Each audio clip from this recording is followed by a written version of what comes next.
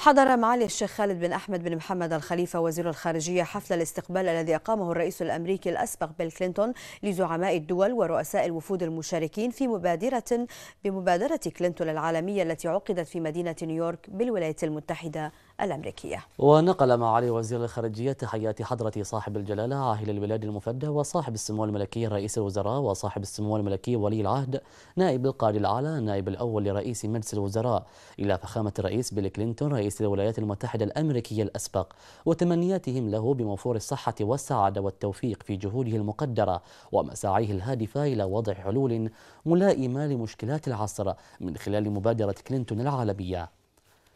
كما شارك معالي وزير الخارجية في الجلسة الافتتاحية للاجتماع السنوي لمبادرة كلينتون العالمية مؤكدا معاليه على أهمية هذه المبادرة في تحفيز جهود إحلال السلام وإرساء الاستقرار في مختلف أنحاء العالم وتقديم كل السبل للعون والدعم بما يؤدي إلى التغلب على التحديات المشتركة التي تواجه المجتمع الدولي والوصول لمستقبل مشرق وآمن لجميع الشعوب.